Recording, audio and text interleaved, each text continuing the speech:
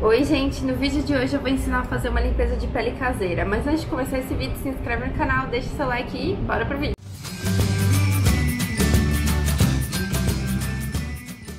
Bom, gente, o primeiro passo é lavar o rosto com sabonete líquido.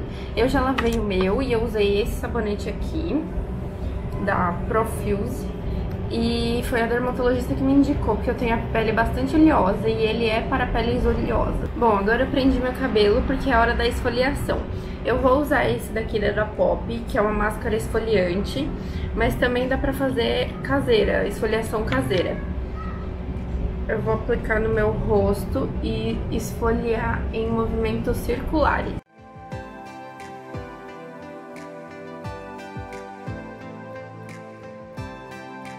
Bom, gente, agora eu vou enxaguar e eu já volto.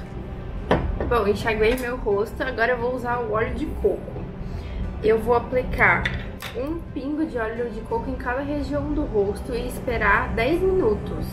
Depois disso, retiro o óleo de coco e aí vem o próximo passo. Aplica uma gotinha de óleo de coco em cada região do rosto e espalha.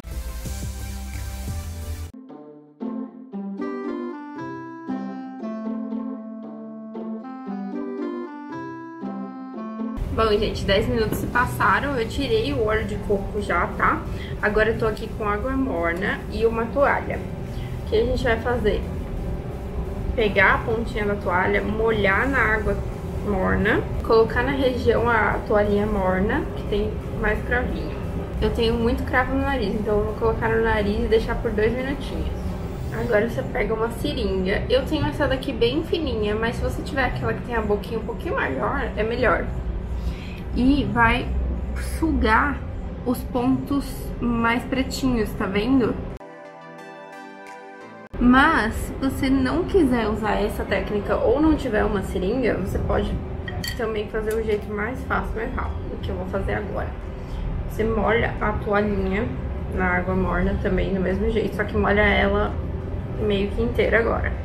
Feito isso, agora você vai colocar a toalha no rosto inteiro e deixar por dois minutinhos de novo. Passados os dois minutos, eu vou voltar com a máscara de esfoliação e aplicar no rosto inteiro de novo, fazendo movimentos circulares de novo. Que agora é pra limpar mesmo os poros. Tem que massageando bem pra limpar bem os poros. Bom, gente, agora eu vou enxaguar e eu já volto. Bom, gente, voltei eu tirei a máscara de esfoliação, né? Meu nariz tá bem vermelho, tá tudo meio vermelho aqui, mas é normal, minha pele ficando vermelha por qualquer coisa. E agora o último passo é passar um tônico facial.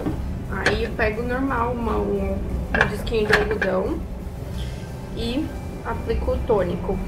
Mas se você não tiver tônico ou preferir, também pode ser substituído por chá de camomila bem geladinho.